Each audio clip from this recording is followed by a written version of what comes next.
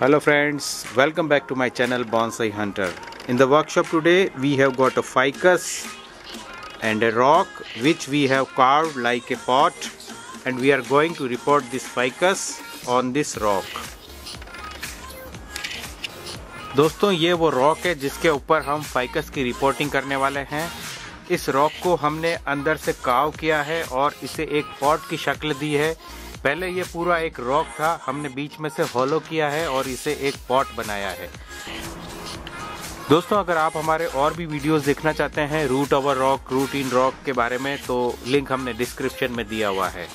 We are going to report a ficus in this hollow and we can say it is root on rock bonsai friends if you haven't subscribe my channel please subscribe and follow me on Facebook and Instagram also पिछले episode में हमने बताया था कि slabs और rocks के ऊपर bonsai को कैसे लगाया जाए।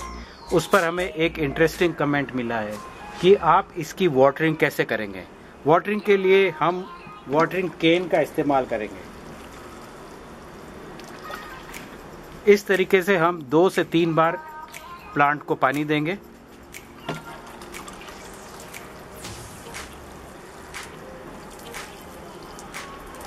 अगर आपने हमारा ये वीडियो देखना मिस कर दिया है तो ज़रूर देखिएगा। लिंक हमने डिस्क्रिप्शन में दिया हुआ है।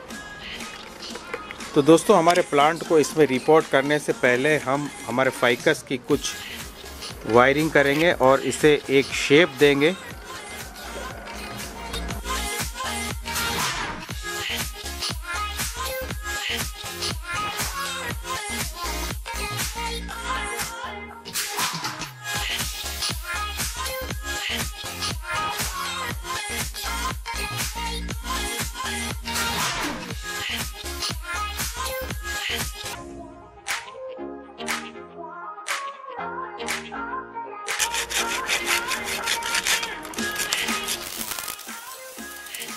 अब इसकी रूट्स को थोड़ा रैक करके हम खोल देंगे।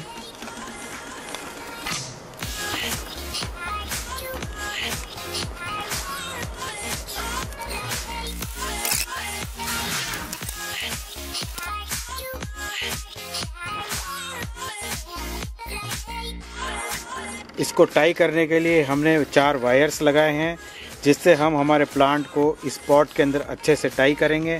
सबसे पहले हम इसके अंदर एक लेयर मॉस की बिछाएँगे।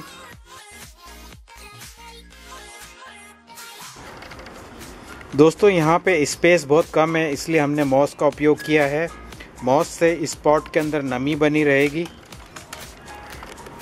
इस फाइकस को लगाने के लिए हमने काली चिकनी मिट्टी का उपयोग किया है। इसमें थोड़ा वर्मी कंपोस्ट मिलाया है।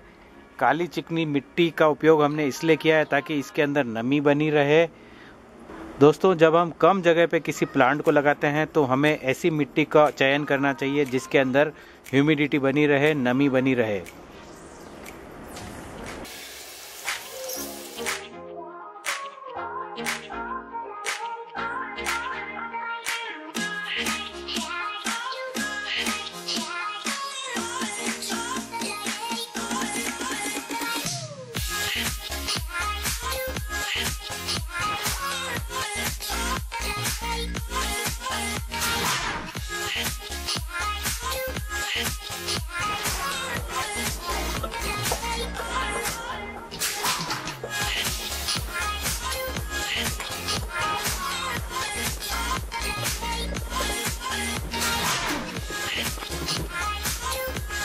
दोस्तों, अब बारी है मॉस की।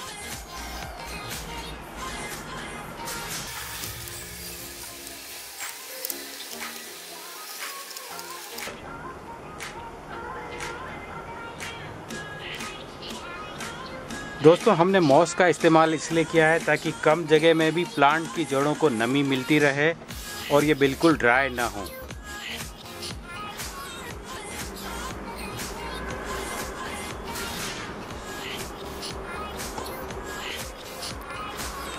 So friends, that's it for today. I will be back with some more informative videos on bonsai and gardening. Till then, goodbye.